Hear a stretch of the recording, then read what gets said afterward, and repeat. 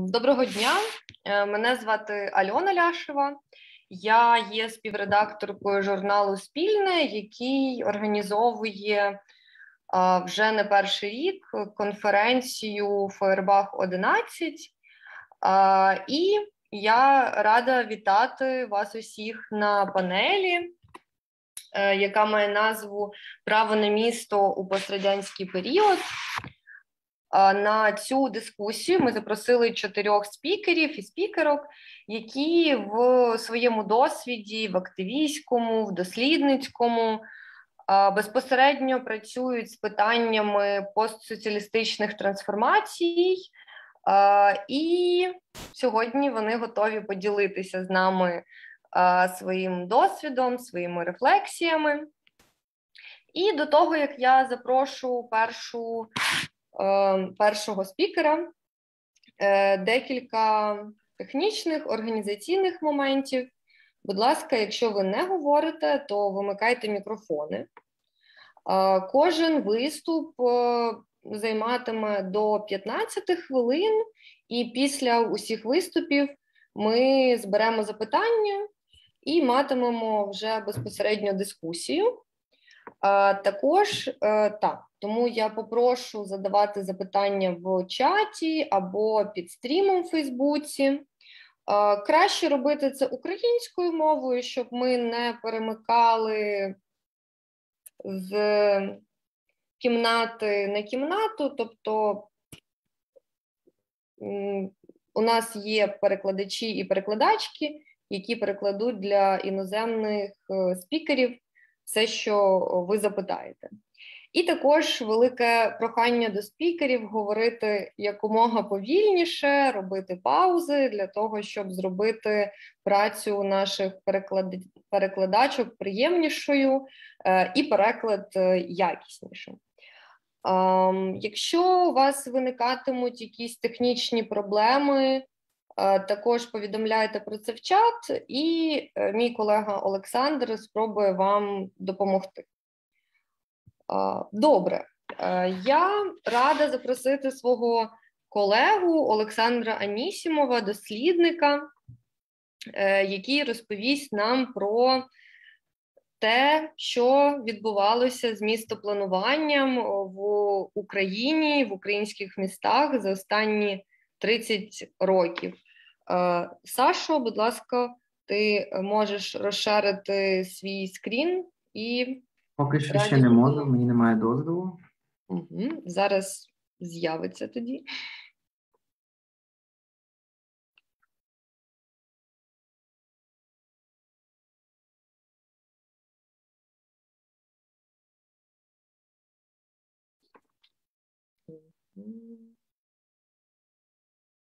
Як мене видно?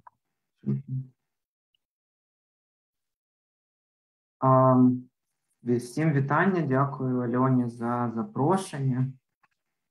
Я, чесно кажучи, не впевнений, наскільки я зможу бути включитися в дискусію про право на місто. Я постараюся в кінці зробити про це деякі е, свою рефлексію коротку, але так чи інакше, моя тема трошки віддалена від цього поняття, і я думаю, що можливо в кінці за допомогою питань зможемо зробити якісь um, мости або місточки uh, від планування до права на місто.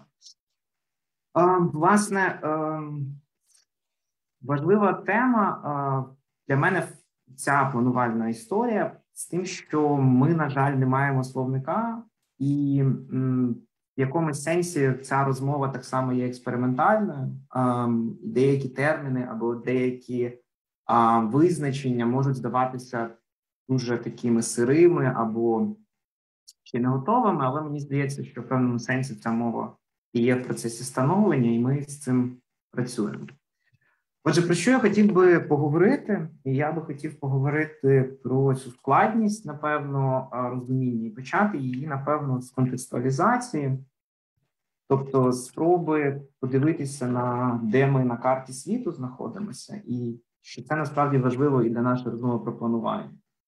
Та, тобто ем, це якби географічний масштаб, в якому ми сприймаємо планування, він дуже важливий, тому що планувальна школа навіть окремого міста та або окреме е, середовище регіону, вона може дуже сильно відрізнятися від планувальних якихось позицій навіть сусіднього регіону.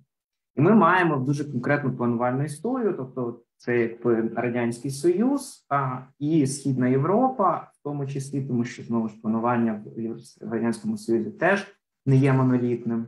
Ну і власне, зокрема, ми знаходимося в столиці України. Тому я тут зробив такий парадоксальний підзаголовок Київ not Ukraine, а, тому що я не впевнений в тому, чи ми можемо з Києва описувати планувальну модель для всіх різних міст України, але спробуємо. Почнемо ми з ретеоретизації урбанізації по соціалізму. Звучить трошки складно, але в чому полягає моя а, позиція? А, власне, позавчора, позавчора а, слухав Лукаша Станика, а, і я, перечитуючи його книжку вчора, а, знайшов в вступній частині таку, таку якби тезу в його в тому, з чого він починає свою розмову. А, І Лукаш каже, що ця от необхідність взагалі переглянути, як ми описуємо а, урбанізаційні процеси глобального півдня в його кейсі, але через лінзу соціалістичних планувальних підходів і так далі. Вона дійсно дуже назріла. І якби цього це якби довго відкладалося. Ця тема довго відкладалася, і ми в певному сенсі в такій ам, а пастці того, що ми потрапили в той другий світ соціалізму, який був визначений французьким соціологом Альфредом Саві в 1952 році. І ми з цією другою категорією пережили 90-ті і потрапили в цей пост другий світ. І відповідно це накладає дуже великі рамки на ту дискусію, яку ми ведемо. І, власне, Лукаш каже, що світ це оспорювана і множинна категорія, і відповідно, що він розуміє світотворення як процес творення його зсередини з багатьма і часто антагоністичними можливостями. А інший дослідник, на якого я теж хочу зараз е, відреферувати, це Міхель Джентіле, і е, він коментує термін постсоціалістичного міста, урбанізації, постсоціалізму як таке, що от репродукує ті штучні кордони, звично, які нав'язані або самостворені науковцями Східної Європи, або нав'язані науковцями Західної Європи, Євроатлантичного регіону, зазвичай та таким, які показують наші міста, що знаходяться в траєкторії е, руху до європейського міста, траєкторії руху до якоїсь ідеальної моделі, яка а, десь існує, яка десь описана, і оця гегемонна теорія, та тобто дуже багато, починаючи Нью, починаючи від теорії початку ХХ століття до сучасних теорій про нового урбанізму і так далі, да, вони всі є оцими а, наративами гегемонів е, країн гегемонів, гегемонних університетів і академій. Отже, таке завдання, яке я би хотів поставити, я звично його не не зроблю повністю, але проблема реконцептуалізації цього звичних уявлень про те, де ми знаходимося, і що таке посоціалістичне планування урбанізація, а воно воно дуже гостре. І проблема наша, зокрема, в тому, що за 30 років ми не змогли нічого сказати такого, з чого можна було би почати цю розмову. А маючи цю проблему якби на фоні, та тримаючи відсутність мови і якби е, серйозних сказаних тез, е, спробуємо все-таки пройти ці 30 років, а і подивитися, в яких таких загальних рамках з чого складався цей період. Отже, на мій погляд, 80-ті, я дивлюся на 80-ті як на якийсь в певному сенсі початковий період, найбільш релевантний початковий період для сьогоднішньої дискусії, да, тобто не копати прямо сильно глибше, а так само не оминати радянську спадщину, але подивитися на 80-ті. І, зокрема, подивитися на 80-ті з позиції а, а, Пітерса, а, який описував кібернетичну радянську державу і створення інтернету, заводячи поняття гетерархії, того, що насправді оця от ідеальна схема, яка зараз зображена на екрані, а вона насправді ніколи не працювала в пізньому радянському союзі, тому що у це ідеальне уявлення планувальників дуже часто, які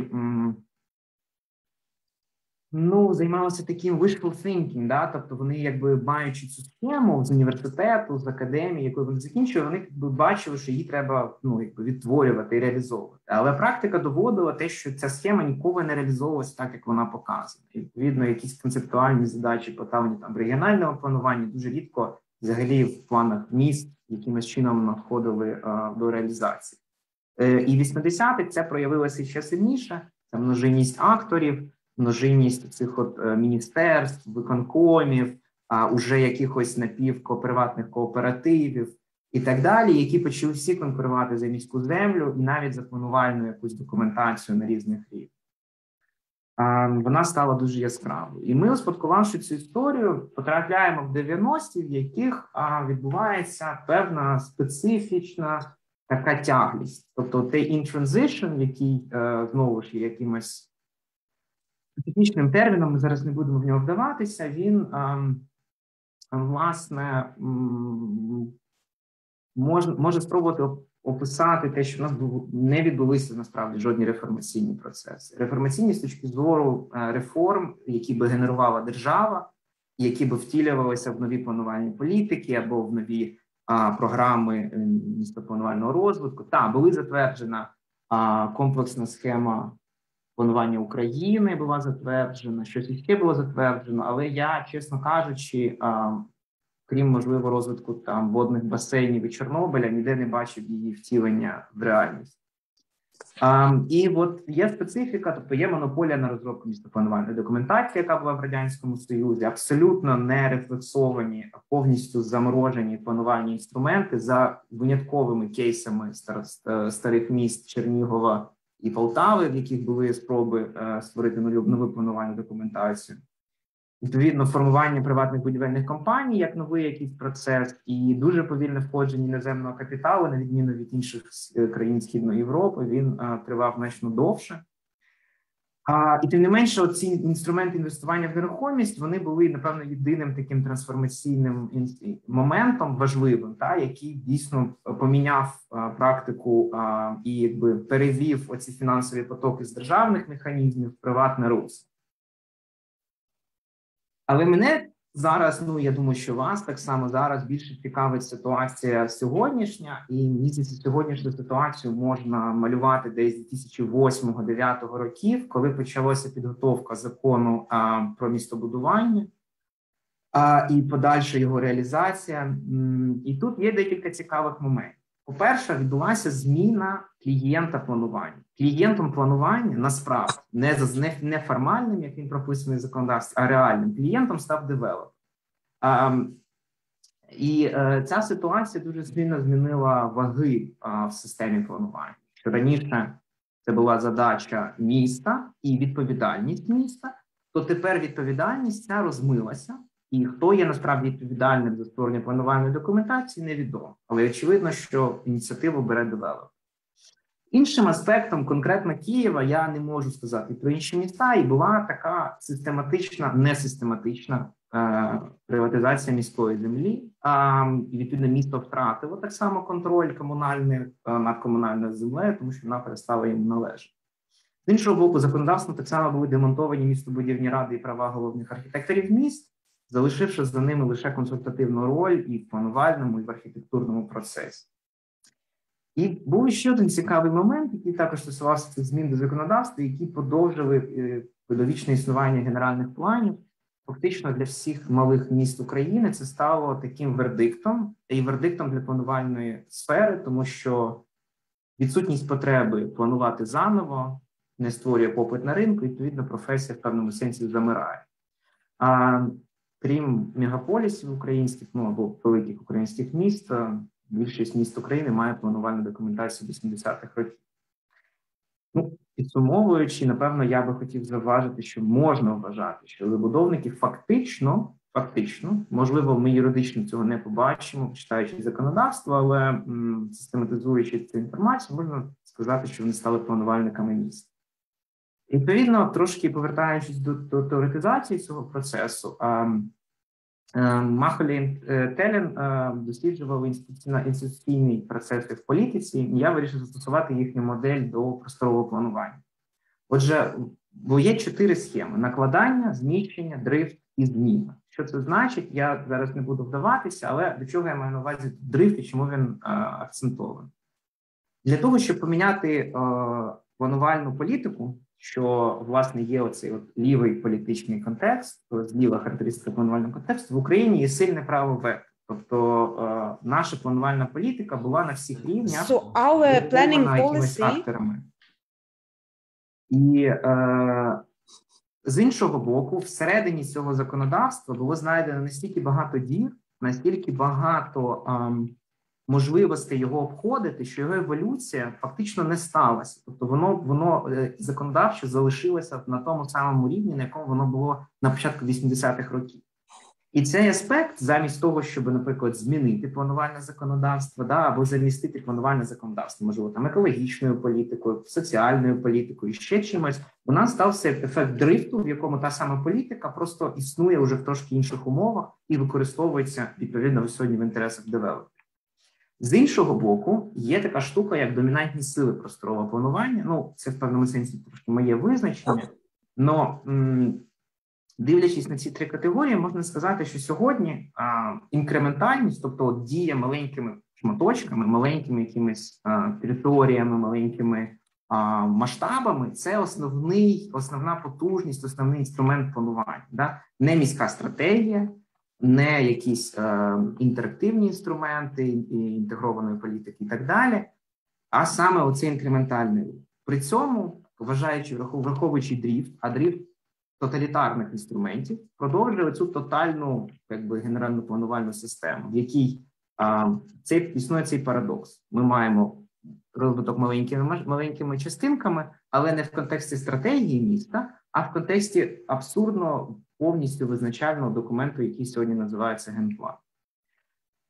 І для мене є було таким аспектом, що от ми, як люди, да, ходячи по місту, маємо таку якусь контрадикцію. Да, Ми постійно стикаємося з оцим от що, проданим вибач, нам візію Я попрошу говорити повільніше, бо маємо труднощі з перекладом. Е, так, продовжуй, будь ласка, але ще повільніше. Я спробую повільніше і все ще встигнути в час. Е, Отже, бачення і розуміння розвитку е, ну не територій, а якби взагалі міста на рівні людини, яка сприймає цю інформацію, як оці от продані картинки чи візуальні ряди е, майбутнього середовища вона дуже сильно відрізняється від того, які процеси насправді а, визначають це майбутнє місто. І тут я вважаю ну, постійно цей парадокс того, що навіщо це досліджувати, що це може дати, да, якщо і так зрозуміло, що ми рухаємося в якійсь а, дуже дивному напрямку між Азією, Африкою і Америкою. А, а в тому, що насправді, якщо дивитися навіть з точки зору права на місто і фактичного урбанізму, ми все одно бачимо, що за цією картинкою знаходиться якийсь дуже дивний простір, так? тобто якісь ну такі такі території, які абсолютно дисфункційні, знаходяться між реальностями, да? між реальністю цього успішного образу і, і реальності економічної бідного міста. І я в своєму дослідженні взяв три кейси. Я не буду з них зупинятися. Я просто хочу сказати, що ну детально зупинятися не буду. Я просто хочу сказати, що це три кейси зовсім різного розміру, але це планувальні кейси. Та це не кейси будівель, не кейси якихось там ну, умовно житлових комплексів, та але це кейси саме планувального масштабу. А, Це Unit City, до якого я так я на кожен підготував цитату з, інтерв'ю. Тобто, головна історія полягає в тому, що ця зона буде відносно закритою. Це буде єтто айтішник. Це цитати людей, які стосувалися планування. З Позняками два це територія на лівому березі. Як складається наше майбутнє, ми не знаємо. Як реалізується план? Ну, є інвестор. Якщо його наміри відповідають плану, він каже: Я хочу реалізувати цю частину детального плану, ну і реалізовує. Софіївською Бершагівкою це цитата людини не планувальника, людини, яка співпрацювала з мерією в консультативній ролі. Він каже, що містобудівна документація живе своїм життям, і це життя зосереджене на виділенні землі забудовників. Да? І тобто підсумку, да, я роблячи якийсь підсумок, я, на жаль, не встиг слайд перекласти, було дуже багато ем, дуже багато інших речей, які хотів встигнути перекласти. цього дослідження, да? але е, спільними тезами я хочу зараз сфокусуватися саме на них. Це те, що говорячи про те, що ми не бачимо, та, але те, що можна прослідкувати на рівні, коли ти аналізуєш саме планувальні документації, планувальні проекти, ми бачимо, що ці питання екології, кліматичної е, уваги, загалом використання ресурсів, вони взагалі не є на адженді, вони не згадуються, не не проблематизуються. Е, політична якби процес з залученням громади а, і її якби почуть, поч, спробую почути громаду і інших політичних акторів, він теж відсутній в планувальній програмі. Місто як система або як е, комунальна, ну власне відповідальна комунальна е, система, да, вона не, е, не може контролювати і не контролює, і не інвестує свій час в зміну цих планів. Ну і власне а, ці питання там подальшої соціальної справедливості, рівності, якоїсь якості життя в найближчих територій, вони взагалі не є на нашому ну або на планувальній адженді планувальників а, сьогодні. І в цьому баченні і розумінні, власне, є оцей парадокс, в якому коли ми говоримо про планування, а не про загалом образ міста і якісь е, речі, ми маємо розуміти, що має бути якісь методології в Україні. Цих методологій аналізу планів я планування планувальних процесів я не бачу. Відповідно, це в певному сенсі, якби моя модель, там яку я створив на основі досліджень інших е, моделей. Та, і тобто за рахунок аналізу плану за багатьма факторами ми можемо робити якісь серйозні висновки не на основі зображень, які нам продають девелопери, не на основі а, якихось а, текстів, які вони генерують, а саме на основі планувальних процесів.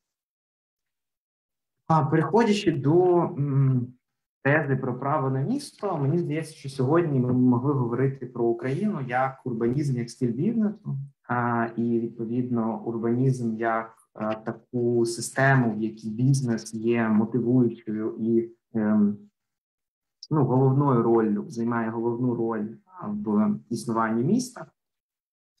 І є такий парадокс подвійний, що місто, можливо, не як загальна якась система, але майбутнє міста є непідвладним самій громаді.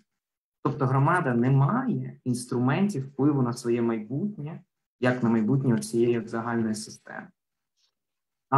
І, власне, як розширити те право на місто, яке сьогодні є проблемою і стосується і, напевно, можливості там і і отримувати житло, і впливати на вигляд громадських просторів, і ще чогось, як його розширити в царину просторового планування. Да, це для мене питання ну суперстратегічного масштабу. Да? Тобто, це взагалі якісь типу ну дуже дуже круті речі, які можливо колись стануться. І я би хотів, щоб вони актуалізовувалися, тому що мені здається, що якщо ми не можемо вплинути на планувальників з точки зору академії, то можливо ми зможемо на них вплинути з точки зору громади, яка стане більш компетентною здатною аргументувати свої потреби і пропозиції. Ну і роблячи такий підсумок щодо самої реконцептуалізації цієї пострадянської ситуації, або як я кажу, девелоперського урбанізму. Тут важливо розуміти, що трансформація планувальної теорії в українських університетах і тої практики забудови районів, на відміну від 80-х, як не дивно, вона не йшла паралельно. Тобто теорія намагалася догнати європейську теорію якийсь час, не розглядаючи українську ситуацію, і потім потрапила в пастку, в тому, що нові планувальні категорії їх можна додавати. Та вони всі є розроблені і затверджені девелоперами в тисячних роках і є тепер наративами, які є по суті концептуальними моделями розвитку міста. Що ми створюємо? Ми створюємо такі-то форми і такі-то принципи. І Наша логіка автомобілоцентричної одна, Одна хвилиночка залишилась. Я це є останній слайд. Е, І логіка автомобілоцентричної розбудови вона залишилася взагалі поза дискусією в усій містопланувальній е, теорії в Києві і в Україні, зокрема в Києві, Україні е, в Україні, Києві, зокрема. Вона є не проговореним інструментом, але вона є щоденною реальністю планувальників, які жодним чином не підважують а, те, що а, це є одним з найбільш критичних, найбільш проблемних інфраструктурних, а, е, соціальних екологічних аспектів. А загалом, тобто неможливість втілення генерального плану, і те проблема, яка потребує інш, іншого рівня реконцептуалізації, що нових планувальних інструментів за 30 років ми не створили. І е, досі, і в найближчі 5 років цей процес продовжуватиметься. Ми будемо інвестувати ресурси в неробочий інструмент, який перестав працювати всередині 90-х. І цей неробочий інструмент залишатиметься парадоксально тим центральною моделлю роботи е, планувальної системи міст України. Дякую. Я спробував зробити такий максимально ширний вступ. Буду радий питанням і, і обговоренням. Дуже дякую за таку чітку і ясну концептуалізацію доволі складної теми насправді. Е, і це справді ми запросили тебе говорити першим, бо це такий вступ в тему. Е, і наступним нашим кроком буде подивитись трохи за кордони нашої країни і послухати досвід е, Німеччини і, зокрема, Берліну. Тому я запрошую до слова Каталін яка є дослідницею, а також депутаткою берлінського парламенту, е, активно виступає за право на житло, е, але вона про це розкаже нам більше. Katalin, so the floor is yours. You have 15 minutes, and um, yeah, please. Dear Alona, dear all, thank you for the invitation to the conference again.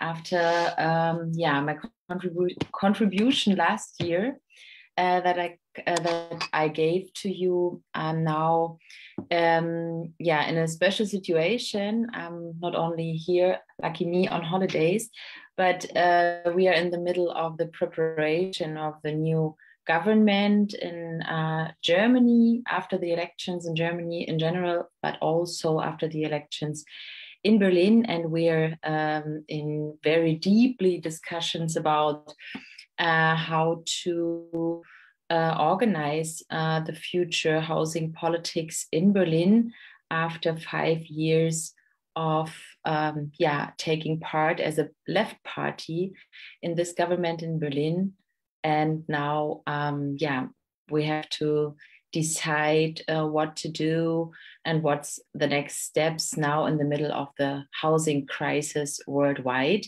but as well after the referendum that we had in Berlin, and you probably heard about the referendum that we had in Berlin on the expropriation of big housing companies. And this referendum was successful two weeks ago. So this is like the political situation, uh, very, yeah, fascinating uh, situation, but a very um, uh, complicated situation at the same time. Um, I will, yeah, explain a bit more uh, later. So let me talk today about the financialization of the housing sector in Germany, especially in Eastern Germany, since 1990. And the reason why we have nowadays a referendum uh, in Berlin on the expropriation of bigger housing companies and what all this has to do with the digitalization in the era of financialization and privatization. I think this is the complex we can talk uh, about to understand what's going on in uh, with our uh, housing units in our cities, but as well with um, yeah the land that is um, privatized and in the hands of uh, highly speculative um, structures and ownerships.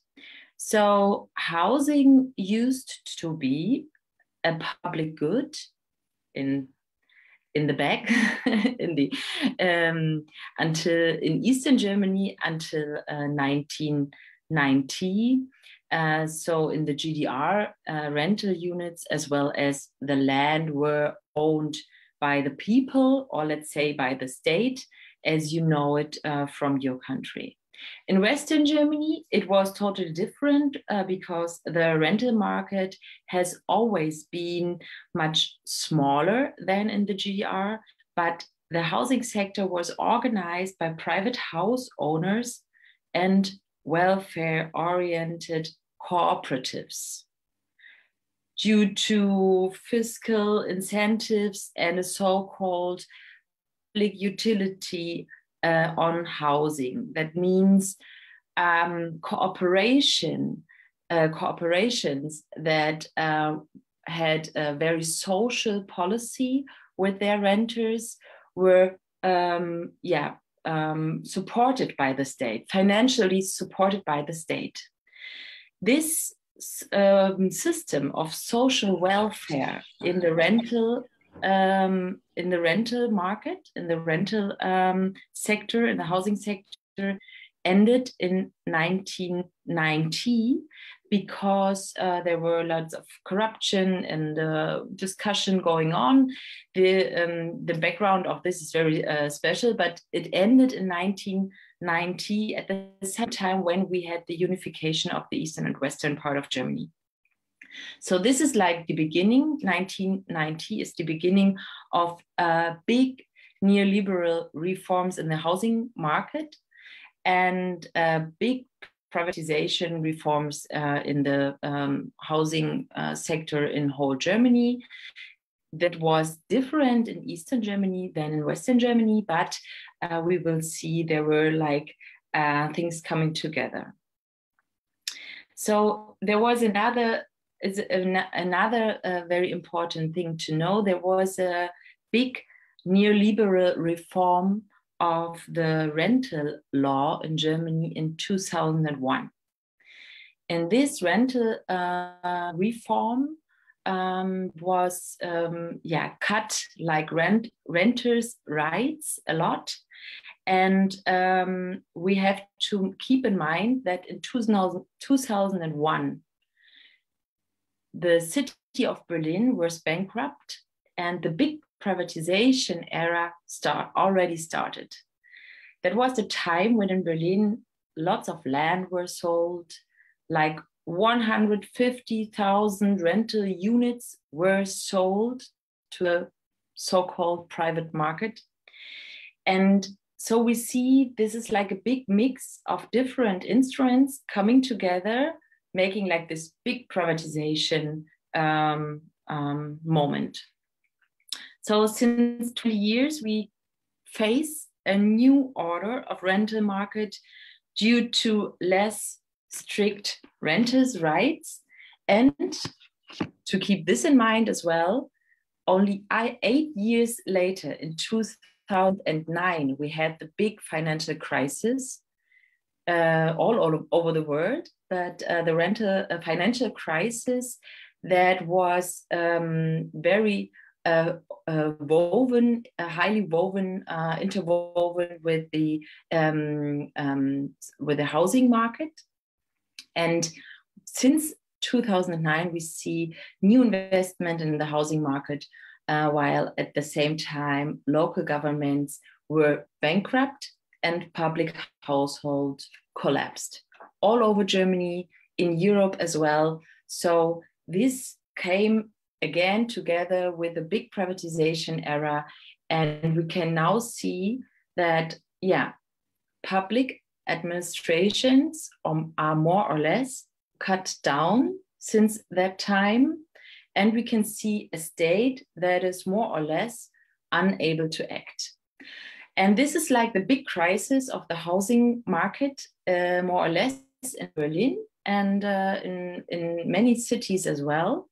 And now, after more than 30 years of privatization, we are confronted with several crises, not only the uh, crisis in the housing sector, we are confronted with several crises of public goods uh, that were organized in a public sector before. We are confronted with the crisis of mobility. We are confronted with crisis of healthcare.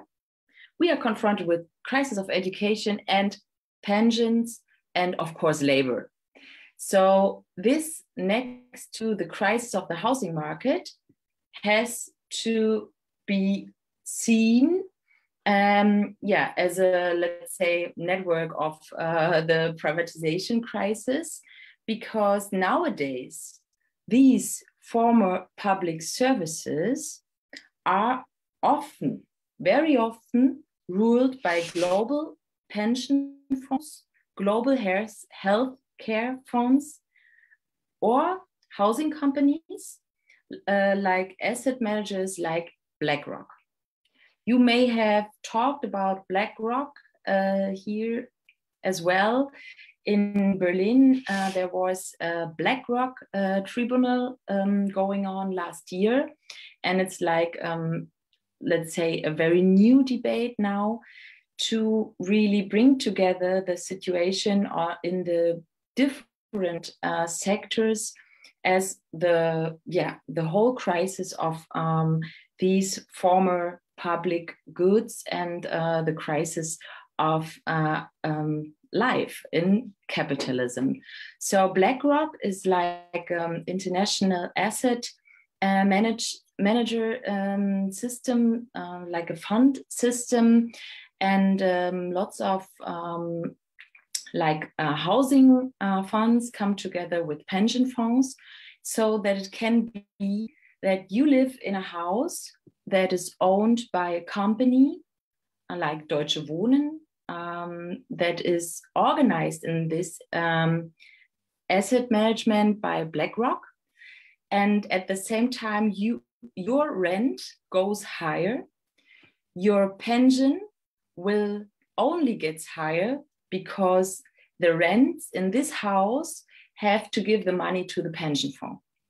So these are like the super conflicts we are facing now in this uh, new era of the financialization, um, the financialization era of capitalism. And I highly recommend one book to you. It's uh, the book from Grace Blakeley. It's uh, called Stolen and she is from Great Britain, and she um, very um, good describes these uh, interdependencies of um, financialization to the housing crisis and to privatization. So, the privatization of public services created a circle of speculation. Uh, we are all part of as renters or as pensioners or as patients. So let me now come to the current situation in Berlin with this referendum on the expropriation of the housing uh, companies that owns more than 3,000 housing units in Berlin. This referendum started two years ago, and there was a group asking for this referendum. In Berlin, it's um, a possibility to um, uh, to organize referendums as part of direct democracy. And the referendum process is now two years long. And two weeks ago, there was um, um, the election day, and the referendum got 56% of uh, voters saying yes, like Berliners voted for yes for the referendum.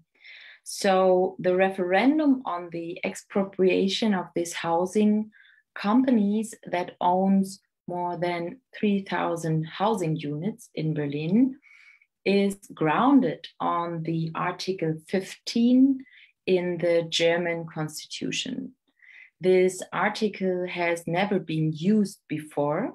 That's why everybody is a bit nervous about this article and how to organize the process now but uh, it's very interesting, uh, not, not only for historians, uh, that uh, this article um, is um, like, yeah, um, came up after the Second World War when we already had the property issue in, uh, in Germany because it was clear after the Second World War that the ownership issue were highly um, discussed as reasons or background as a structure of fascism in Nazi Germany. So the question of who owns the land and who has the power in the land, in the um, in, in the land or in the city, is uh, on the table again. And with this referendum now, we have to um, yeah, we have to find a solution to make a law to uh, expropriate these big housing companies that are um, speculating with our housing units. And this is, of course, a very important sign to say stop to this era of financialization of the housing uh, sector and to say uh, stop to um, houses as a part of the stock market. And what we can see that uh, unfortunately, uh, Alexander, I could not really listen to your um, contribution because the um, translation uh, was interrupted. But as far as I, I understood your contribution, it was on the question of like speculative architecture and speculative um, real estate. And this is, I think, a really important issue of the moment. We really have to talk about financialization and the banking system, like the finance, the finance of new real estate in our cities as only speculative uh, goods. And we are facing a lot of these projects in Berlin as well. Mostly like uh, high rises um, uh, houses um, that uh, are super speculative. But yeah, we really have to talk about um, who uh, who makes the city, who owns the city, and who pays for the city. And if only if if only speculators own the city, then of course the price for us as payers are too high. So the question how to break up this speculative circle is now on the table, especially with this referendum on the expropriation. And, and um, let me add just one thing. We are now discussing about uh, the expropriation on these big housing companies. This is really very important. But we really have to take care on the other levels of speculating with housing and the uh, speculation with the, within the housing market in uh, very small um, uh, um, sectors, like um, the Airbnb question. I, I also could talk about today, but I will not. I will just give you a link to my new study uh, that I made also in uh, that is also publi- published in English. But uh, the question how housing is used not anymore as a public good or common good, but is used as a part of the stock market. And so we can see that also due to digitalization processes and the platformization, yes, I will come to an end. Thank you, Alona. Um, um, due to the financialization and the digitalization, which is very um, uh, interwoven the digitalization and the financialization. Um, and these new ways of platformization and the commodification of public goods, what we see with Uber as well, we really have to confront these processes of privatization of public goods in the era of digitalization due to the internet and due to platformization. And what this means to um, yeah the um, new commodification of public goods. That's just one thing. I will give you the links uh, here also in the chat. There's also a website uh, about the from the referendum uh, initiative in Berlin, you can uh, find uh, also in um, English language, also in I think Russian language, and maybe more. And I will put the links in the chat. And so, uh, thank you for listening. Ми дуже дякуємо Каталін, і ми дуже раді, що даруйте. І ми е, дуже раді, що все-таки є якась надія на якісь радикальні трансформації десь в світі, е, на які ми можемо дивитись і а, перебирати досвід. А, Наступні спікерки ем, мають дещо інший е, погляд на проблему в тому плані, що вони дивляться в своєму буденному досвіді на право на місто зовсім з іншої сторони. Е, Ірина, яку я запрошую наступною, є активісткою міською е, у місті Львові і має дуже довгий досвід, е, часто дуже складний е, цей досвід був, наскільки мені відомо, ем, боротьби за захист нашого міста, де я також живу.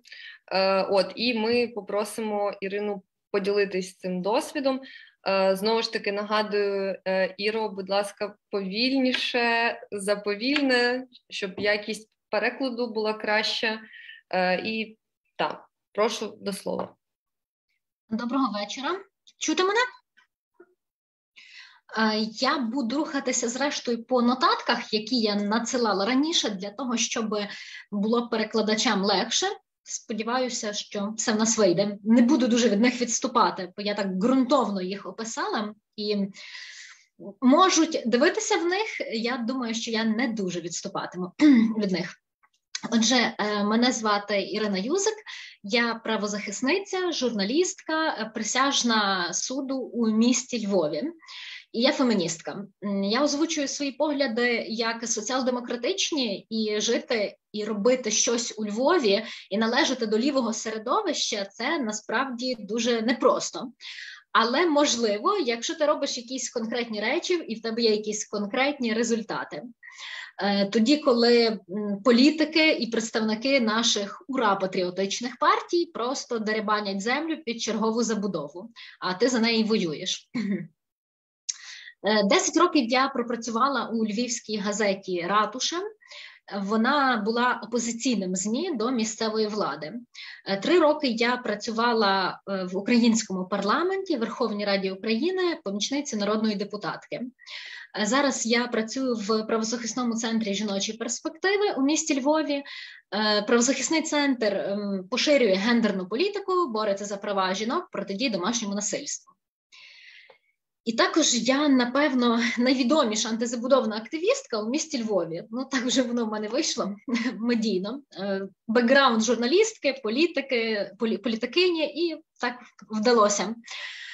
Е, і е, в нас є місто зі спадщиною ЮНЕСКО, тому це питання власне антизабудовної політики, антизабудовних активістів, антизабудовної боротьби стоїть дуже гостро.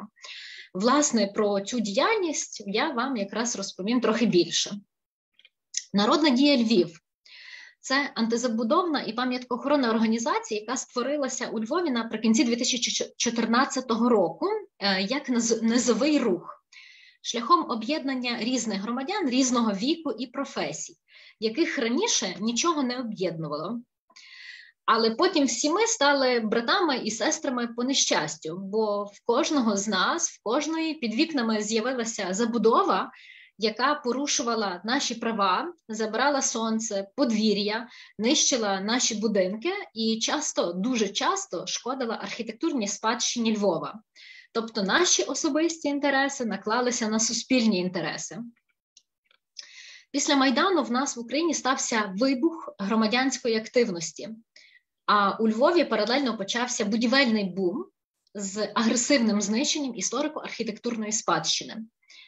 Весь цей будівельний бум і це нищення спадщини благословляється чиновниками як місцевого рівня, місцевого самоврядування у місті Львові, так само і всеукраїнськими дозвільними службами, таких як Державна архітектурна будівельна інспекція, Міністерство культури.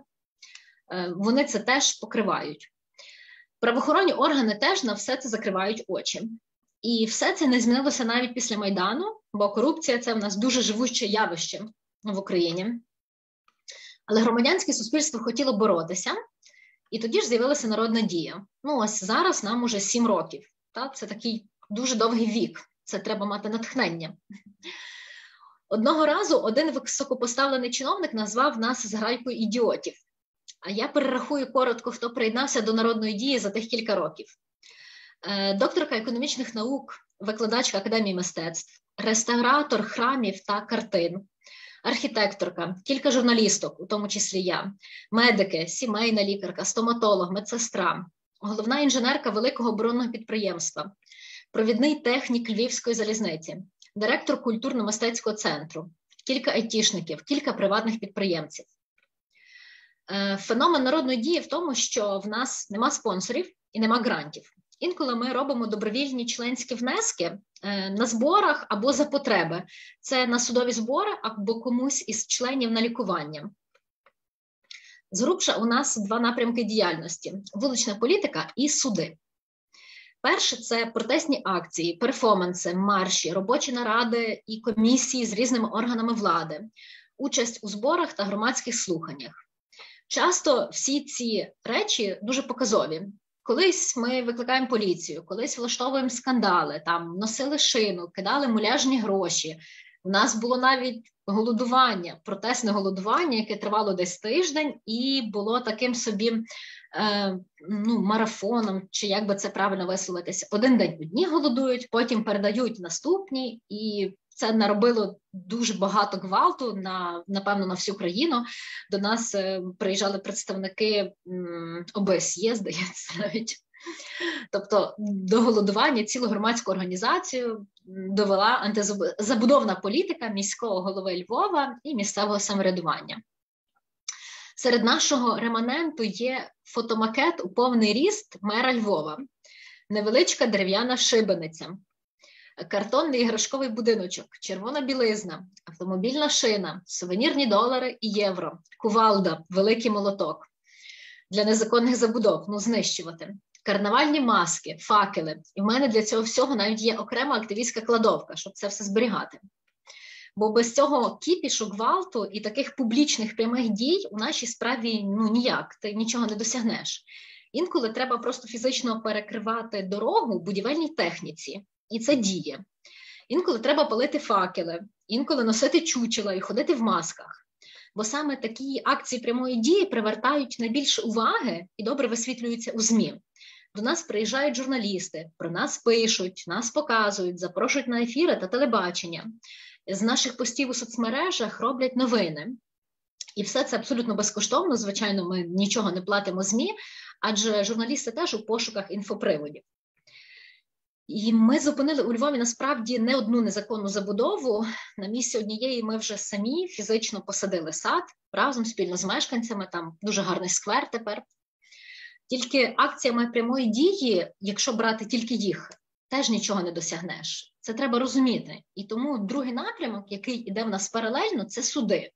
Судів у нас завжди по кожній справі, по кожному об'єкту по кілька штук, бо починається там забезпечення позову, ем, якісь додаткові дотики з забудовниками. Ну, три-чотири маємо об'єкт, три-чотири суда. Це точно, коли ти починаєш судитися. Дуже швидко ми зрозуміли, що адвокати це дуже дорого і ненадійно. Адвокатів перекуповують і вони просто зливають справи на користь забудовників. Це в нас досвід такий гіркий і частий. Тому ми почали вчитися самі. Кожен і кожна з нас добре знає свою справу. Ми самостійно готуємо документи в суд, опираючись на якісь попередні доробки, яких нас уже багато, звичайно, і з допомогою найрозумніших з нашого середовища. Так, у нас там є, наприклад, докторка наук, е, економічних наук, і, наприклад, до неї найбільше звертаємося. Е, за сім років нашої діяльності ми отримали дуже хороший авторитет і впізнаваність, і при тому е, ми не взяли у жодного забудовника навіть шоколадки. А як ви напевно здогадуєтеся, пропонували нам багато разів і немалі суми. Наприклад, найбільше, що мені пропонували, щоб я відмовилася від протидії одній незаконній забудові в самій там центральній частині міста, це 1 мільйон гривень як благодійний внесок на розвиток нашого руху. І пропозиції такої винагороди отримували ну, часто насправді наші члени і членкині, але ми ні разу ні на що не погодилися, тому в нас бездоганна репутація, бездоганний авторитет. Були в нас і погрози, і переслідування, і тиск, і репресії зі сторони правоохоронних органів. Тому що, коли тебе не можуть купити, починають тебе залякувати, тиснути. Е, якось з іншої сторони заходити. Наприклад, в нас були безпідставні обшуки в наших активістів кілька разів, напевно, тричі. Притягувалися по статті, навіть не притягувалися, а ці обшуки проходили в рамках розслідування статті номер 109 Кримінального кодексу України. Це замах на повалення конституційного ладу. Але окрім обшуків, нічого не пішло далі. Ну, по-перше, нічого не знайшли. По-друге, нікого не притягнули до відповідальності. Головне кинути пляму, нашуміти, так, щоб ЗМІ це показали. Але коли ти стаєш в якийсь такий один захисний ряд і нікого не здаєш, постійно говориш, що все це брехня, що ти не здаси своїх активістів, що це тиск і переслідування, то навіть нашу службу безпеки попускає. Ну справді важко переносити такі удари, але, але можливо, ми їх пережили і багато. І були в нас і фізичні напади. Так, в нас на кількох людей били. Е, це були представники забудовників, скоріш за все, нікого не знайшли, нікого не покарали. На і і на двох чоловіків, які були конкретно представниками забудови, заб, ну як це місцевими мешканцями. Вони були місцевими мешканцями по двох об'єктах на них нападали фізично і били там по голові, по спині. І на наших молодих активістів, які е, долучаються до підтримки всіх, а не є не є місцевими мешканцями, теж були напади. Але все ж таки Львів це не Київ. Е, колись мені один забудовник сказав: е, в Києві тобі вже давно проламали голову. А в нас все таки інший менталітет, інше громадянське суспільство, більш консолідоване, більше готове захищати один одного, і все-таки ми менше місто, набагато менше. Ми всі один одного знаємо. Та? У нас у Львові можливо таке, щоб громадянське суспільство всі всіх знали. І не так ми розкидані географічно, бо місто маленьке, і ми сміливіші. І ще ми знаємо, що коли ми вже стали на якусь стежку, оцю стежку боротьби, то відступати не можна, бо потім роздусять по одному. Ну просто роздусять. Це вже виходить питання нашого виживання і самозбереження. Ну і на кінець скажу, що звісно, що у всіх бувають і піднесення, і занепади. До пандемії, до карантину ми мали великий ривок вгору. Ну тобто, в нас якраз так по синусоїді пішло до гори. Карантин це дуже сильно придушив. Місцеві вибори осені 2020 року пожвавили нашу діяльність. Ну, це як завжди так буває на виборах.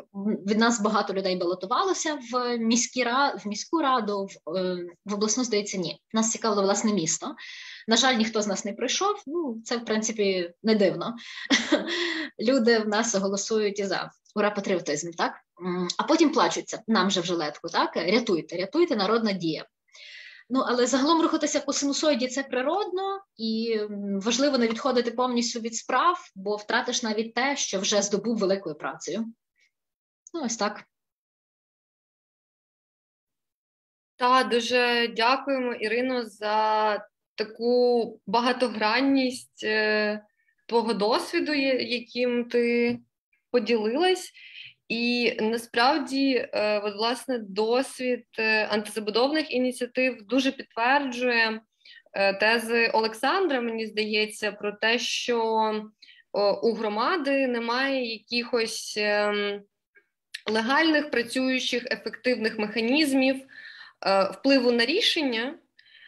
Рішення приймаються виключно якби невеликою групою людей, і тому нам людям, яким не подобається те, що відбувається в наших містах, доводиться вдаватись до доволі радикальних дій і вступати в ну доволі жорсткі конфлікти, які е, Ірина описувала.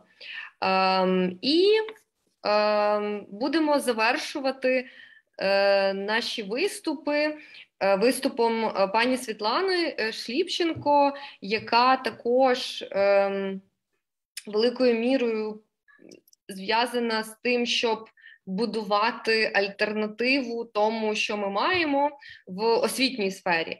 Е, Світлана є ініціаторкою е, створення е, такої програми магістерської, яка, якщо я не помиляюсь, має назву Урбаністика і містопланування. І ця програма має доволі виражений, е, якби таку виражену критичну оптику, ангажовану оптику, е, і е, ну, ця програма запустилась лише в цьому році, але це для України доволі якби безпрецедентне щось. Е, часто люди, які хочуть навчитись тому, а як е, якби робити місто кращим, вони мають їхати за кордон. Тепер ми маємо е, можливість такої освіти і в Україні. Так, і я попрошу пані Світлану до слова. Дякую. А можна розширити екран? Ні, да? Ем, Олександре Кравчук, допоможи нам це зробити. Зараз е, одну секундочку з'явиться у вас ця кнопочка.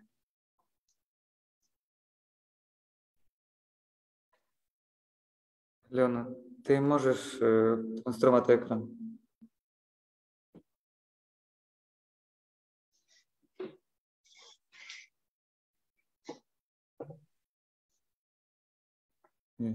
Ні, Саш, я не можу давати дозвіл на розширення екрану. Це тільки хост може. Ну, я тоді, може, почну, щоб час не е, затримувати, але все-таки е, є можливість чи ні? Зараз воно з'явиться буквально. Ви розпочинайте, а ми вирішимо це питання. Ну, в зв'язку з тим, що ми говоримо, ну, з одного боку, Олександр таку картину маслом намалював, е, таку, ну, я б не сказала, що е, песимістичну, тому що ми з колегами, з колежанками все це бачили і е, ну, шукали спосіб якось на це реагувати, знайшли свій спосіб займати таку проактивну позицію. І, власне, якщо наша презентація загальна називається право на місто, то я звернусь до Ліфєвра, хто народив цю, так би мовити, цю ідею, цю концепцію перший. Значить, я скажу, що ми готуємо людей, які свідомо будуть брати да, на себе відповідальність і право на участь у творенні. От він мав на, на увазі ті, тих людей і акторів багатьох, хто має право на участь у творенні міста. І от ми вирішили готувати таких агентів впливу, які будуть цю систему підважувати і які будуть цю систему о, руйнувати із середини. Не виходить у мене все одно, да? Ну, я, я... А, от, все, я Є, да, можливість. Значить, е, Колеги і колежанки наші це центр урбаністичних студій для початку, тому що ми об'єднались, власне, ем, тому що ну, вважали, що є е, необхідність у створенні програми, у створенні освіти. І, власне, центр урбаністичних студій працює в кількох напрямках. Одним е, з важливих і, очевидно, таким магістральним це є освіта і публічна програма. А публічна програма це лекції і дискусії, які ми робимо. Освіта це власне от зусилля, ну я б уже сказала, багатолітні, які передували запуску програми. Другий наш напрямок це дослідження і аналітика. І незабаром вийде наша збірка, така, де ми обкатували способи, як ми будемо працювати на програмі. І я сподіваюся, що буде нагода її презентувати. Ну і публікації численні власне нам допомагає в цьому фонд Бюля в Україні дуже сильно.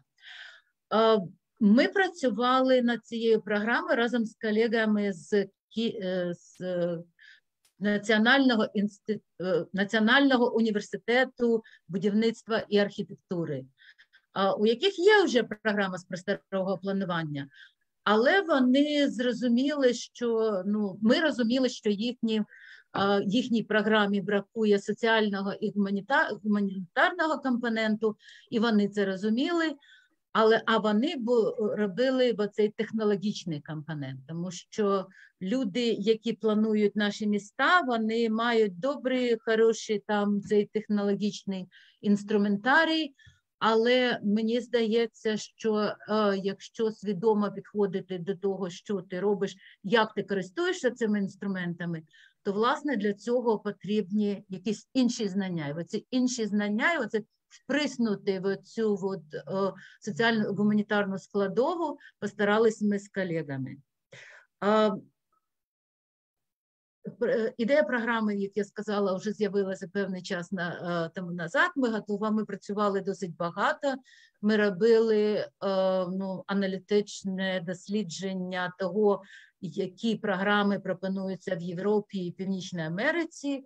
І, власне, от, ну, тепер запуска, запустили уже з цього року цю програму з урбаністики і просторового планування. А власне, ну, питання, от, на які ми шукали, самі шукаємо відповідь і хочемо, щоб ці питання були висвітлені, і вони такі, сподіваємось, будуть висвітлені в нашій програмі. Тобто, як живуть і виглядають наші міста сьогодні, як це виглядає, які принципи і цінності закладені в основу планувальних рішень. Тому що людина добре, людина може закінчити, отримати диплом, піти працювати, піти працювати в девелоперську компанію і, скажімо, е, застосовувати ці інструменти набуті і знання набуті в процесі навчання. Але ми стаємо на тому, що людина повинна, ну це е, випускник чи випускниця, повинні свідомо застосовувати, розуміти, які принципи і які цінності, е, як вони працюють довкола власне цінностей цих і побудована програма. Я розумію, що ми не можемо змінити прямо людей, тому що це вже може пізній такий етап, хоча ми будемо намагатися прагнути це робити, але принаймні зробити так, щоб людина свідомо а, підходила до і відповідально підходила до своїх рішень. Значить, е, це ми плануємо. Ми би хотіли, щоб наші випускники і випускниці і їхні рішення відповідали викликам сьогодення і майбутнього, і, власне, розуміли, які виклики сьогодення і майбутнього стоять перед містами сьогодні. Програма створювалась в партнерстві. От ви бачите, це е, Київський національний університет будівництва і архітектури, це центр урбаністичних студій, це фонд Гайнріха Бьоля і Еберга Шок, е, фонд е, Шока. Ем, ну, те, що я сказала, що ми працювали е, над над розробкою програми досить тривалий час. Ми залучили міждисциплінарну команду розробників і розробниць. Ми робили широке залучення, і це е, про це йшлося, ем, коли ми робили спочатку, ну, знімали, так би мовити, побажання і ем, ідеї щодо того, як може бути організована програма з наших майбутніх, так би мовити, ну, користувачів. Так? Ми консультували з українськими іноземними експертами в, е, в сфері. А, от і ще один е, знову підкреслюю, що програма організована довкола певних цінностей і принципів. Ми також підбирали викладачів на основі досвіду, компетенції і тих же цінностей, які ми сповідуємо. Тобто, це цінності е, власне права на місто, це цінності я би сказала, демократичного урбанізму, це демократичні цінності, це розуміння того, що міста все-таки в містах живуть люди, люди ці різні, є громада, є управлінці і є бізнес, і треба шукати е, власне певні точки дотику, а не диктувати свої умови. Як шукати ці точки дотику, треба теж вміти це робити. Е, ми налагоджували теж е, міжнародні зв'язки, і рецензували нашу програму на е, міжнародні експерти. Яка мета нашої програми? Власне, вона з одного боку досить амбіційна, щоб е, наші випускники і випускниці ставали цими носіями змін ставали цими агентами впливу і ем, впливали на цю ситуацію, тобто ем, на цю жорстку, да, як Олександр показав цю інституційну ситуацію із середини. А а з іншого боку, ми розуміли, що ці люди мають бути ну, висококласними спеціалістами. Вони повинні володіти базовими принципами і розумінням в сфері просторового розвитку. Вони повинні аналізувати виклики сьогодення і якимось чином це прогнозувати для майбутнього, мати от, набір певних інструментів для роботи з цим. Вони повинні вміти працювати в міждисциплінарній команді, тому що сьогоднішнє планування це робота фахівців з різними різними бекграундами. Інакше ми не можемо планувати міста. Це довів уже достатньо добре попередній досвід. А вони повинні бути включеними в міжнародний контекст, тому що компаративна здатність порівняти, подивитися, що робиться в інших містах і країнах. Це дуже важливо винести якісь уроки, взяти щось хороше, проаналізувати, що працює, що не працює. Це дуже важливий момент. Ну і вони повинні володіти базовими теоріями в сфері міських досліджень, міського розвитку і розуміти, як їх застосовувати на практиці.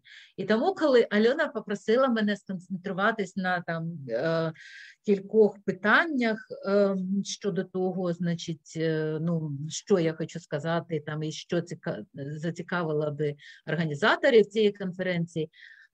Вона задавала таке питання, що щодо великої кількості так, теоретичних курсів, і, зокрема, ну, акцент справді на критичній теорії, тобто навіщо вона сьогоднішнім планувальником? Мені здається, що це дуже важливі речі, тому що е, планувальники і планувальниці повинні розуміти, з чим вони мають справу. Вони повинні розуміти, що місто це не система міста, е, тобто воно і система, і місто це і організм. Я вже сказала, в місті живуть люди, є якісь збудоване довкілля, як все це взаємодіють, які чинники сюди включені, ем, економічні, соціальні, е, технологічні, і політичні і так далі. Люди повинні вміти е, на це подивитися. І ну і критична теорія, е, ну, без критичної теорії, мені здається, все-таки е, я не думаю, що ми повинні, е, як би це сказати, я завжди кажу студентам, що дивіться, з одного боку є архітектори і планувальники, девелопери, да, це великий бізнес, і це, так би мовити, люди, які представляють правий напрямок, а критична теорія і урбаністичні студії вони здебільшого представляють лівий напрямок. Вони критикують, вони підважують, вони е, ну, е, дають можливість сумніватись в своїх рішеннях. Тобто не не нав'язувати рішення, і мені здається, що це дуже важливий момент. Вміти критично подивитися на те, що ти пропонуєш, вміти критично подивитися на те, що тебе оточує, застосувати ці певні критичні навички, застосувати дослідження. Власне, дослідженням у нас в програмі буде приділена велика увага. Ми плануємо приділяти велику увагу. Поєднувати навчання з дослідженням. І тому от ми, е, у нас є от планувальні принципи, тобто наші, так би мовити, цінності, які ми хочемо дати і закласти, власне, які сповідує команда, яка працювала над е, програмою. З іншого боку, у нас є принципи освітнього процесу, на які ну, які ми теж враховували при розробці цієї програми. Якщо ми говоримо про принципи освітнього процесу, то це є learning by doing, тобто навчання через практику, це є міждисциплінарність, це є гнучкість і відкритість до нового. Тобто людина не може розробити сьогодні курс і читати його 10 років, і, значить, там якісь там бумажки або ту ж презентацію показувати впродовж там кількох років. Всі наші викладачі і викладачки мають е, ну, бути відкритими до нового знання і нового досвіду. Е, ми, звісно, повинні бути, ну тобто, ми е, сповідуємо принципи гендерної чутливості, ми плануємо обмін міжнародним досвідом. Я сказала, що це надзвичайно важливо. Ми стимулюємо до самонавчання і відкриття нового. Ми він, ми е, культивуємо цю критичність, тому що ну, критичний погляд, вміння критично оцінювати е, ситуацію і те, що вам пропонується, це теж дуже важливо, як я сказала. Ну і бо це гармонійне поєднання да, соціально-гуманітарного інженерного знання. Власне, воно, е, так би мовити, в, втілюється в такому гаслі одного із. Е, у моїх попередніх колег такий був Піп Субірос в Барселоні, філософ, який говорив, що в місті пам'ятники не менш важливі, ніж каналізаційні системи. Тому ми мусимо розуміти, як поєднувати такі речі, як поєднувати важливість, як транслювати і як говорити про важливість і одного і іншого. Так, ми будуємо е, наш е, освітній процес на інклюзивності, на тому, що потрібний діалог між різними різними різними е, людьми і громадами, які живуть у місті, тому що місто, в принципі, це територія конфлікту. Це конфлікт різні групи інтересів, які присутні в місті, вони повинні знаходити спільну мову, вони повинні розуміти, для чого вони живуть і чому власне вони живуть на цій території, що в ній цінного, і власне вони об'єднані і спільним майбутнім, і як хтось сказав, спільною долею. Але як формулювати це спільне майбутнє? Да, У кожного різні бачення цього майбутнього у о, мешканців, скажімо, району такого як Борщагівка Київська, це може бути е, там, де який будувався в 60-70-ті роки.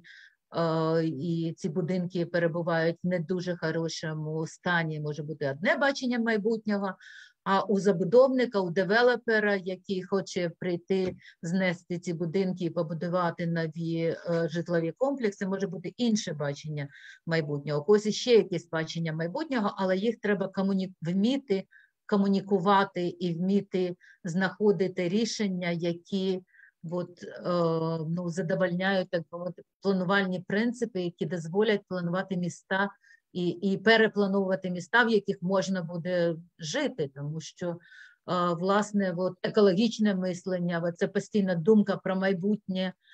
Розуміння того, що що після тебе ще будуть жити люди, і що їм потрібно чимось дихати, їм потрібно мати воду, їм потрібно мати доступ до природи, їм потрібно мати ну, свіже повітря і так далі. Мені здається, це важливо інтегрованість і сталість підходів. Тобто ми пропонуємо ну, комплексний підхід до планування, ну, власне, е, не і пропонуємо, і сповідуємо. Так?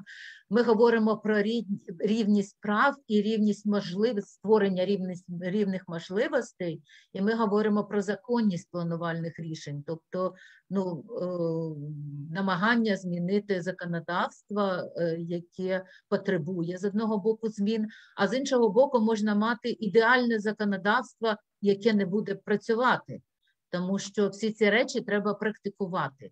Всі речі, які записані в законах, вони є просто записаними, якщо вони не практикуються. Звісно, ми розуміємо, що для того, щоб щось відбувалося, щоб щось рухалось в позитивному напрямку, да, і позитивне його це спільне благо, його треба вміти ще сформулювати. Ми розуміємо, що треба вміти досягати цього суспільного консенсусу, щоб не доводилося зносити паркани, щоб не доводилось когось бити або когось все. Так, І е, ну от е, я говорила про критичність мислення, важливість чути протилежну точку зору, принцип не нашкодити, контекстуальність, розуміти, що є поперед... що місто це колективний твір. Тут жили е, попередні покоління, вони щось створили. А ми будуємо на цьому, що зберігати, що не зберігати, збереження повага е, до культурних ландшафтів, збереження культурної спадщини, тобто і добросусідство, да, фарбування стійкового розвитку спільнот, тому що це надзвичайно важливе. Я не буду уже там показувати там різні різні е, наші, чим ми хочемо, щоб володіли наші студенти. Вони будуть мати, звісно, і технологічні навички, працювати е, з сучасними системами там і, і, і, і з різними.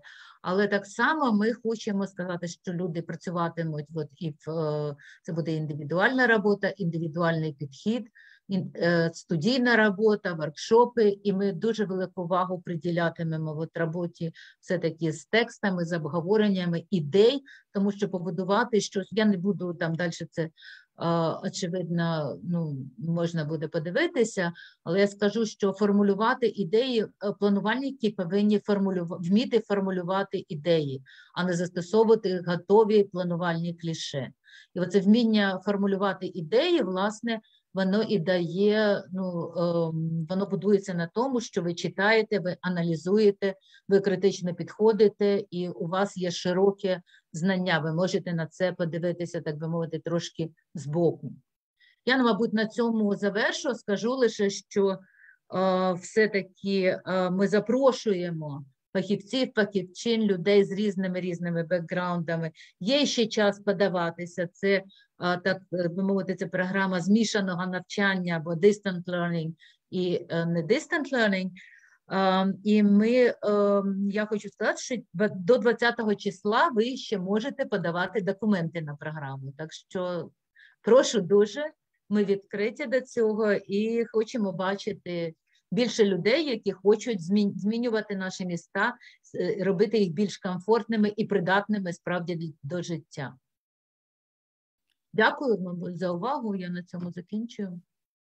Дуже дякуємо і дякую за таку оптимістичну візію, альтернативу. Нічого не залишається, що ж нам робити. Так, бо ми часто, ну і е, я, е, знаходячись також на цьому лівому крилі, я розумію, що часто ми, як е, критичні дослідниці, активістки, ми часто критикуємо, але нам також треба і думати власне про майбутнє.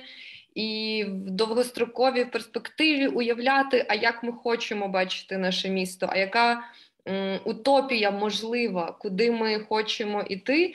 І якраз освіта є тією платформою, е, тим простором і часом, де молоді люди, і можливо не дуже молоді, можуть. е, Грубо кажучи, пофантазувати про те, а що нам треба від нашого міста, від нашого району, е, та, і так далі. І ми ще маємо трошки часу, і давайте переходити е, до запитань. Е, у нас е, декілька запитань з Фейсбуку. І ось е, Олександр Кравчук має запитання до Каталін. Е, я його зачитаю. Наскільки е, її партія, тобто е, Лівиця Ділінке, готова захищати результати житлового референдуму в Берліні? Е, якщо істеблішмент спустить е, цей референдум на гальмах, чи є якийсь план Б?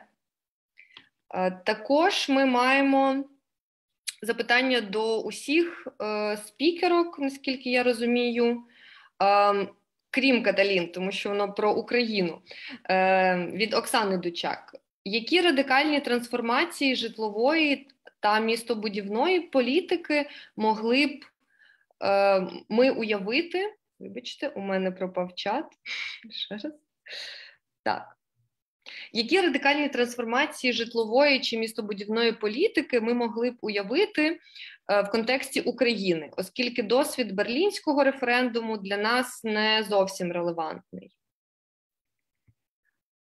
Ем, також ем, запитання е, до Ірини Юзик.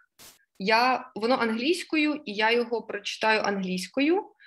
Ем, і Як ми його перекладемо?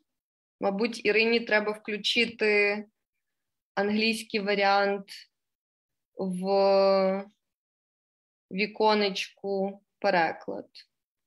Угу, добре. Пе- Перекладач говорить, що буде переклад. Отже, Um, you declare that your organization works rather like a watchdog. So don't you collaborate with uh, Sadov, uh, so you don't collaborate with uh, Sadovi's administration. However, some urban movements activists in Lviv decided to collaborate with them, for example, to work in the city hall. What's your opinion about these people and what uh, is the difference between their approach and yours? Is it only the strategy or also another urban views? I mean, different aspects that than financial issues. Так, це дуже хороше запитання. У мене воно теж часто виникає. Я, можливо, трошки поясню львівський контекст.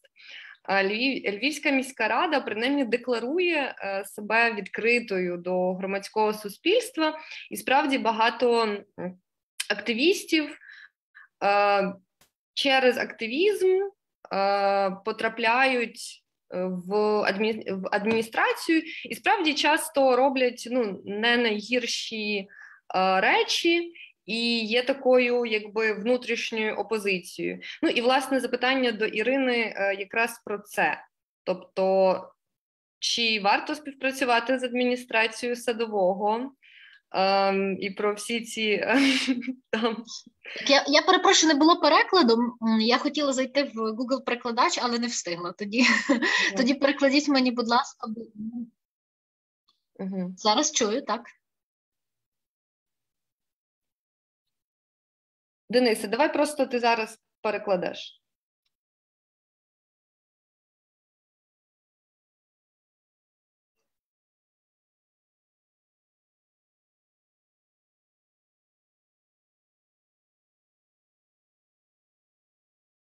Іро, ти чуєш переклад?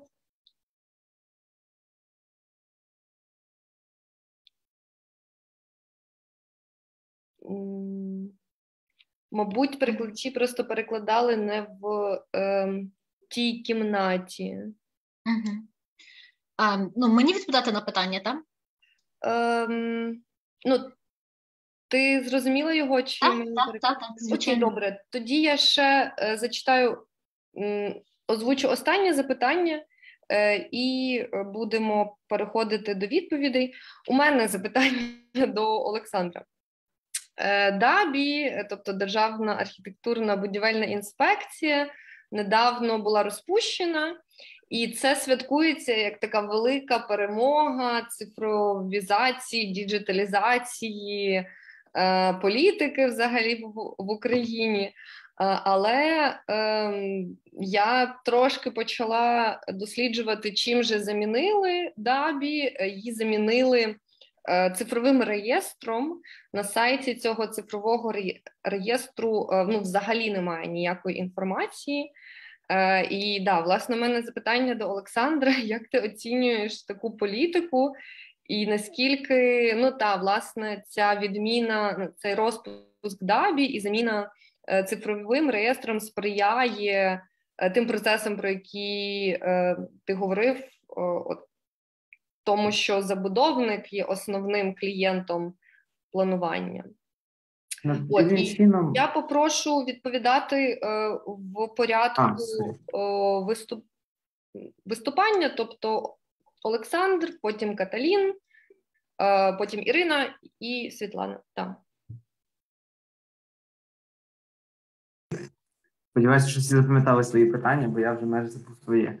А, Власне, ну я можу е, з боку людини, яка не є тим, хто щоденно слідкує за процесами, але все таки ну, тримаю якусь руку на пульсі, сказати, що я не відчуваю, що це має який би то не було стосунок до планувальної політики чи планувальної процесів для міста. Так, наївні напевно, дійсно локальних якихось збудовних процесів, або, можливо, тиску е, якогось на на певні реконструкції, редевелопмент будівель або маленьких ділянок, це може мати сенс, але з точки зору того, що ну, дабі не є суб'єктом політики. Тобто Дабі є контролюючим органом, і Дабі не, не має по суті бути суб'єктом політики. Суб'єктом політики має бути муніципалітет, який е, ну і держава, за допомогою ДАБІ могла би контролювати інтереси міста і інтереси держави. Ну тобто, це це є інструмент, це не є суб'єкт. Просто наскільки цей інструмент буде ефективним, ну вже не дабі, а діам. Ну, побачимо найближчим часом, але без участі міських управлінців, якої в Києві немає від слова зовсім. І я на цьому наголошу кожну свою розмову, що Олександр Свистунов закрився в кабінеті два з половиною роки тому і звідти не виходить. А, е, І, власне, місто не має планувальної і архітектурної політики від слова зовсім, то маю сумніви, що це стосується. Я можу відразу відповісти про трансформацію політики в контексті України. Окей, тоді переходячи до цього другого питання, що Льона поставила в чаті про радикальну трансформацію житлової містобудівної політики.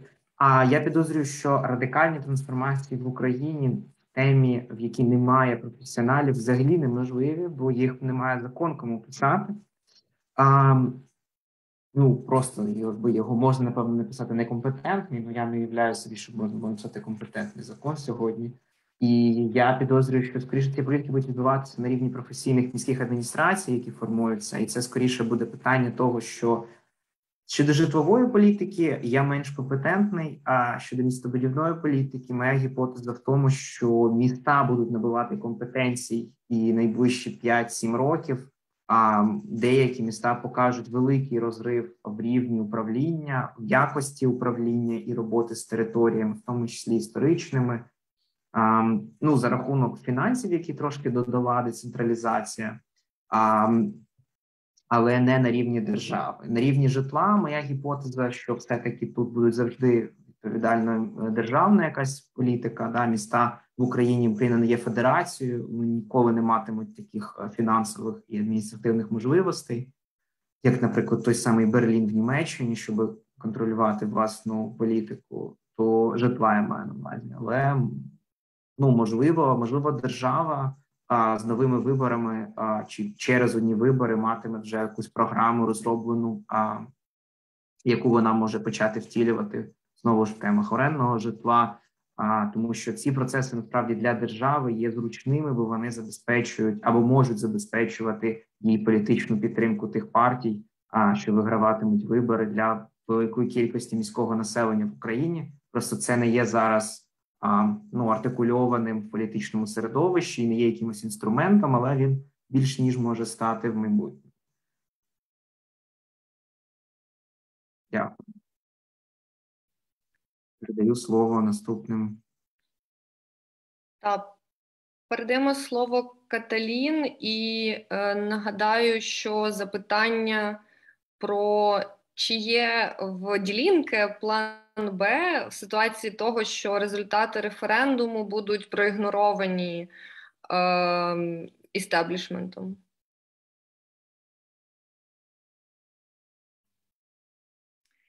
Yeah, thanks for this um, complex question. And I try to answer uh, also a, a bit complex, let's say.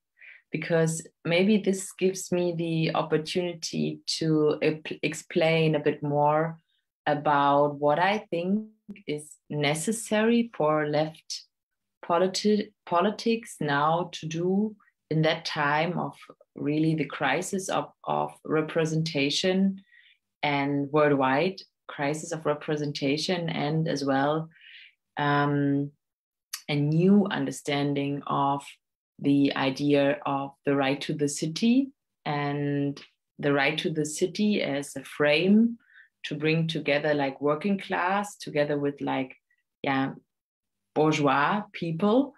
And let's say the more middle class people together with the working class people.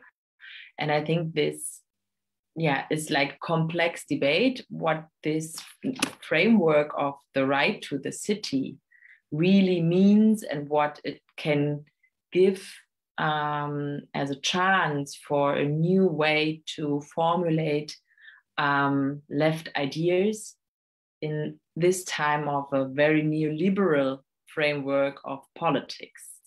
So I think it is very important to say that uh, the idea of the right to the city um, is a very yeah well known idea nowadays in Berlin because we have since 10 years more or less uh, a lot of different referendums and a very um, highly mobilized um, initiative scene um, um, a lot of uh, smaller groups, neighborhood groups, and bigger social um, uh, movements in the city at the same time. And so we have um, a new understanding of this uh, so old idea um, of the right to the city that was um, brought up by Henri Lefebvre. So I would say uh, within this framework, um,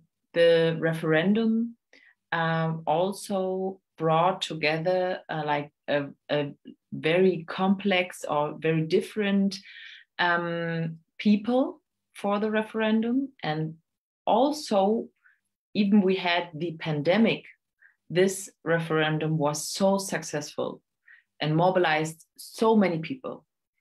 And for us as a left party we um, worked together with the uh, referendum, with the uh, initiative since the early beginning, and we were part of the initiative more or less. For the first time, as a left party, we did not have this experience before. We were always next to the referendum initiative. This was the first time that we as a party were really part of the initiative and worked very closely. So now I would say uh, for the future, and the dealing is going on now. So we are in the middle of the deals of a new coalition for the Berlin government. And we, as the left party, say we want this referendum into a law. We want to have it in reality. So if this is not going to happen, this is a criteria to say no to a coalition. But of course, this is always like complex mathematics, like complex politics. This, it's always depending on the formulation, what will be written in a contract. And if there is written, like we, we have to prove this and we will make it re real in the next two years, then it's the big question is it like this what we wanted or is it not? So we are in the middle of like this uh, fights what where will it go and will it be like this what we wanted? And um, for this we need a very democratical process. And so i want to make this complex answer to make clear that of course the question of how to bring this referendum in reality depends a lot on the democratic situation our party as well.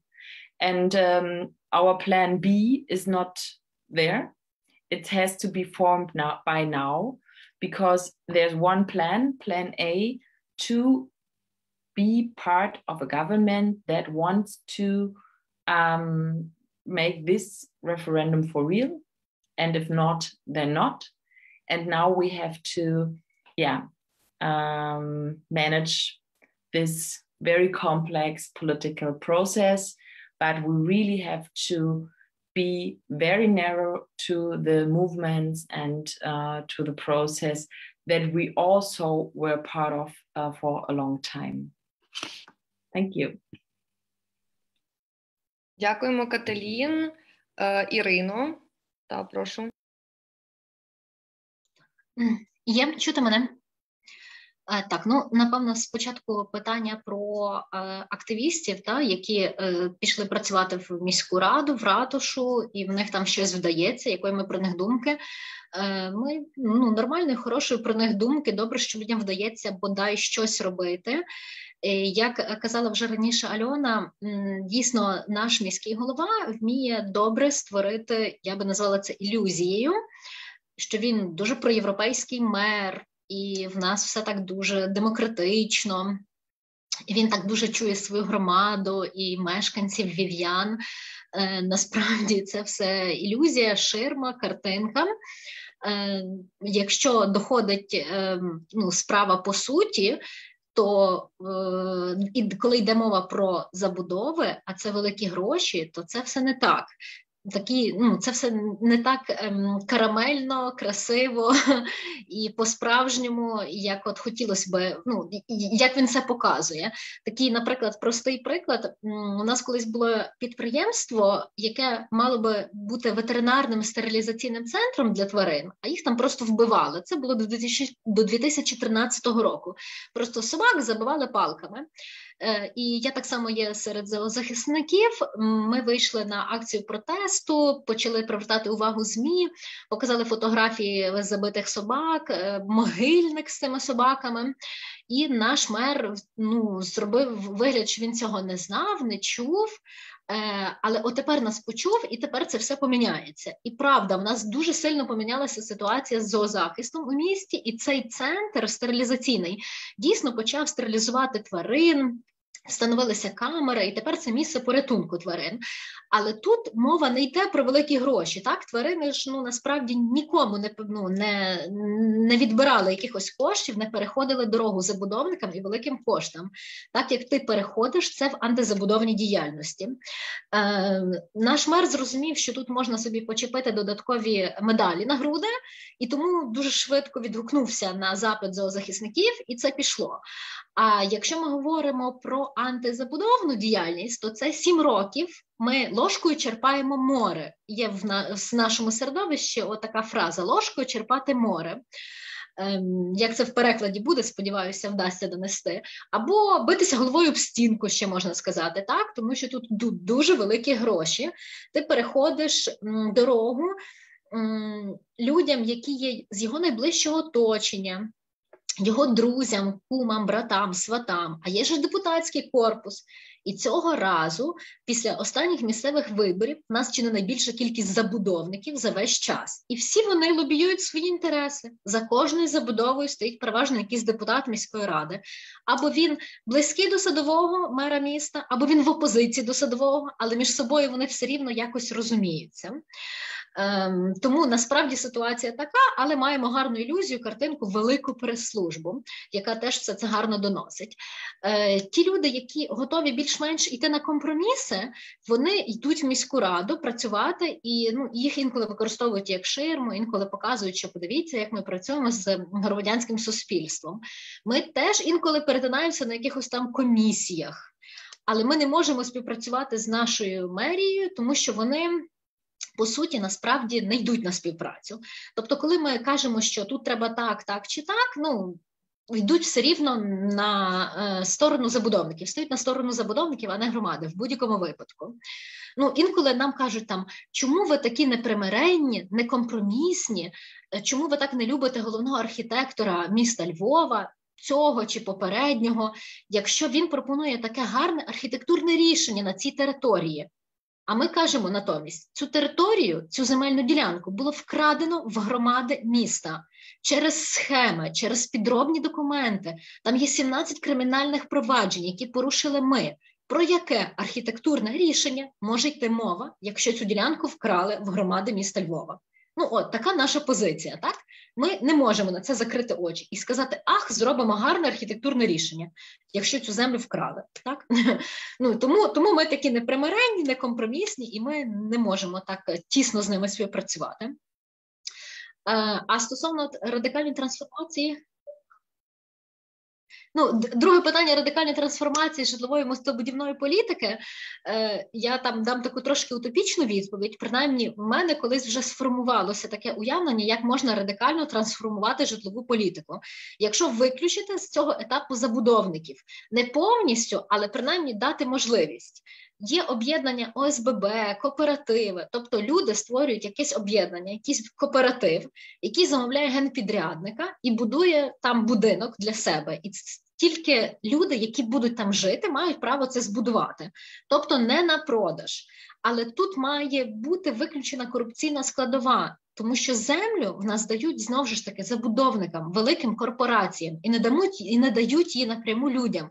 В нас м, львів'яни не можуть приватизувати городи, якими користуються по 50 років, по півстоліття. Вони не можуть це приватизувати, свій город, навіть маючи архівні документи. Зато всі забудовники отримують е, дозволи забудувати чужі городи і отримують чужі земельні ділянки. Тобто, якщо ви, ви виключите ці корупційні складові, але треба, щоб місцева влада йшла, е, ну, працювала в інтересах власне мешканців. Створили кооператив, отримали земельну ділянку під цей кооператив, збудували житло, там десятиповерховий будинок, і заселилися в ньому. Там, наприклад, без права продажу ну, 5 років, щоб було зрозуміло, що це люди для того, щоб жити будують. Ось, але це дуже утопічно, тому що всі земельні ділянки в межах міста отримують е, виключно великі корпорації, великі забудовники, і потім продають квартири з величезною націнкою. Просто там маржа в нас в будівельному бізнесі колосальна. Ну так. Дуже дякуємо. Світлано, вам слово. Ми вас не чуємо, бо вимкнений мікрофон.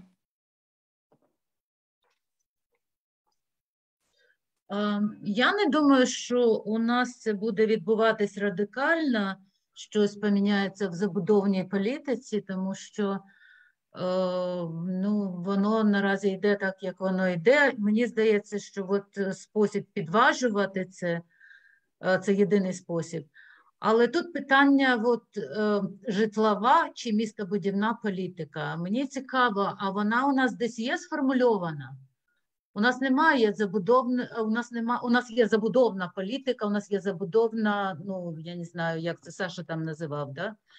а, політика забудовників скоріше в наших містах. У нас не сформульована житлова політика, у нас не сформульована містобудівна політика. Для того, щоб її сформулювати, мені здається, треба е, ну, для початку мати, ну, я повертаюся знову, мати спеціалістів, які здатні це робити. З іншого боку, треба мати дослідження. Треба робити дослідження. І ці дослідження мають робити не НГО, яким не, не байдуже, або там індивідуальні дослідники, такі як Саша Анісимов, які, значить, лобом там намагаються прибити стінку, роблячи там індивідуальне якесь дослідження. Ні, це е, ці дослідження мають бути інституалізовані. Це має бути, тобто передувати якомусь рішенню має дослідження, передувати якомусь рішенню має комунікація. Комунікація двостороння. З одного боку, ті ж люди мають вміти сформулювати свої бажання, а що вони хочуть. Тому що те, що пропонують забудовники, вони пропонують, вони продають спосіб життя. І люди, ну е, часто, коли ви говорите, там інтерв'ю і питаєте, а власне, як ви бачите, вони не здатні вийти за рамки готових кліше. І тому я не певна, що завжди може бути ну, якийсь позитивний, тобто це не завжди позитивний вислід, навіть якщо люди на свої кошти побудують собі будинок, тому що люди егоїстичні можуть, е, ними можуть рухати егоїстичний інтерес, вони можуть захотіти побудувати будинок на березі озера або там в парку і огородити цей парк, і це буде добре для цієї для цієї спільноти мешканців, але це буде погано для тих, хто або не ну, непродуктивно для тих, хто живе довкола. А з іншого, і ще з одного боку, у нас абсолютно відсутній публічний дискурс, там, де на е, рівні ну, фаховому, тобто не такому, що знаєте, у нас є така сам дурак, або на рівні висвітлення справді конфліктів, там, де форм, треба формулювати певні речі, певні поняття і давати людям розуміння того, як вони хочуть жити, які є ну, е, способи життя да, в сьогоднішньому світі. що Перед тим як обмежувати користування автомобілями, особливо в період корони, треба було би забезпечити нормальне функціонування громадського транспорту, щоб е, був дотриманий публікою там масковий режим, і щоб не треба було поліцію напускати на тих, хто взагалі не носить маски. Тобто, якимось чином е, це все діло це рух двосторонній, і це рух дуже непростий. І мені здається, що все-таки я е, прибічниця того, що можна робити зміни, і зміни будуть стійкими, якщо вони будуть ну, не радикальними і не швидкими. А якщо вони будуть, от знаєте, як а, ну таке не дуже хороше, да, мабуть, порівняння. Якщо ви у алкоголіка забираєте пляшку і її десь ховаєте, а це не є той метод. Але коли людина хоче позбутися значить, е, своєї залежності, вона повинна усвідомити, що у неї є проблема, і усвідомлено прийняти рішення. От. Е, я думаю, що все-таки от в такий спосіб треба діяти. І просвітництво, і публічний дискурс теж дуже важливий. Тобто в медіа треба висвітлювати ці проблеми, і ми, ну, ми, я думаю, що це я маю на увазі, ми центр урбаністичних студій, це в наших планах працювати з медіа, і от час від часу, ну от в Guardian була така рубрика да, про міста, поки там платили гроші. Значить, працювали журналісти і працювали, і там були, значить, е, висвітлені певні теми на досить е, пристойному рівні, так що і людина з вулиці могла це зрозуміти, і професіоналу теж могло бути цікаво це прочитати. Тобто ці теми повинні бути присутніми в публічному дискурсі. Мені здається, так. І от я хотіла ще одна ремарка щодо участі активістів, співпраця з владою у нас е, це питання таке серйозне і особливо от останнім часом. Е, якщо активі, у активістів, тобто можна співпрацювати, до є певні межа принципи. Якщо у людини є певні принципи, ви можете співпрацювати, але якщо ви ну, співпраця, да, умови співпраці вимагають від вас переступити за власні принципи, ну тоді, очевидно, співпраця неможлива. Мені здається, так. Добре, друзі і подруги. Я е, безмежно вдячна вам за виступи і за дуже хороші запитання і ще кращі відповіді. Мені було дуже цікаво е, всіх слухати. І підсумовуючи, е, хочу сказати, що ну, сьогодні ми побачили, наскільки право на місто це дуже комплексна. Ем, дуже комплексний процес, який включає в себе як невеликі локальні антизабудовні е, конфлікти, так і глобальні фінансові процеси, і в той же час, що ем, методи, якими ми е, будемо його виборювати, також варіюються від просвітництва.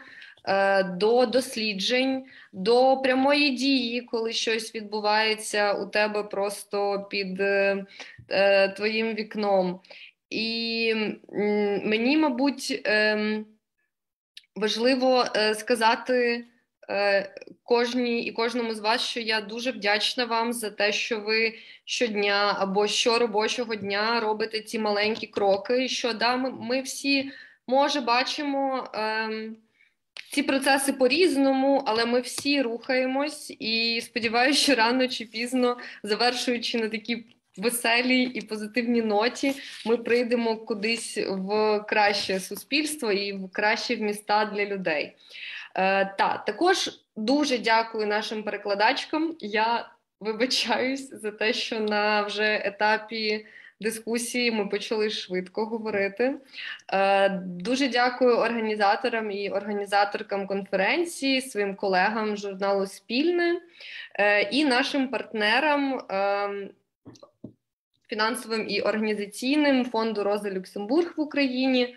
Е, всім слухачкам, будь ласка, читайте наші статті на спільному. Ми пишемо багато про місто, але не тільки про місто. І, звичайно, е, наша конференція продовжується сьогодні тільки перший день. Е, завтра і післязавтра вас чекають також е, не менш цікаві дискусії. Тому та слідкуйте за тим, що відбувається е, у спільного на нашому Фейсбуці. І всім дякую. Там гарного вечора. Па-па. Па-па.